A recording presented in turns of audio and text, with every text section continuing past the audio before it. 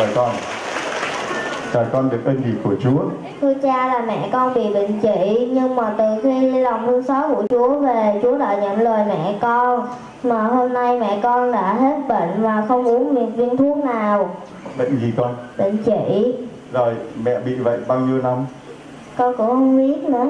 Con chỉ nhớ như vậy thôi. À Con chỉ nhớ vậy thôi. Rồi sao mà con biết giáo điểm tin mừng hôm nay con lên làm chứng cho mẹ con bà nội con nghe từ của ai nghe từ ai về giáo điểm tin mừng nên mẹ, bà nội con kể cho mẹ nên mẹ mới đi đến đây. Rồi một trong phát thật lớn thưa anh chị em.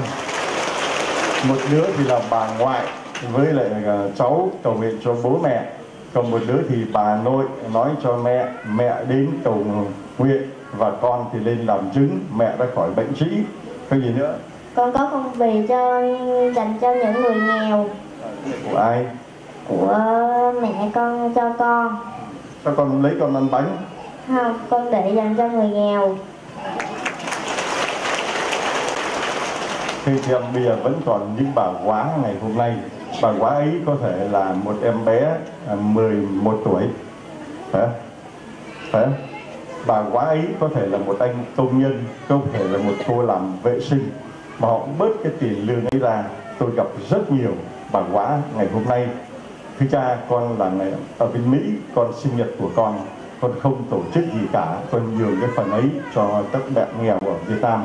Thưa cha, con mới tốt nghiệp ra trường, mẹ con thưởng cho con. Con không có đi đãi bạn mà con đưa ra để đãi các bạn nghèo. Thưa cha thưa cha, nhiều lắm, thưa anh chị em. Ngày hôm nay các bảo hóa của lòng thương xót nhiều lắm. Sẽ gửi tặng cho con cái máy 300 bài giảng cái đưa về cho mẹ nha. Máy 300 bài giảng và đây là cuốn tâm tư lòng nhân hậu của cha. 21 con có đi tu không? Dạ có.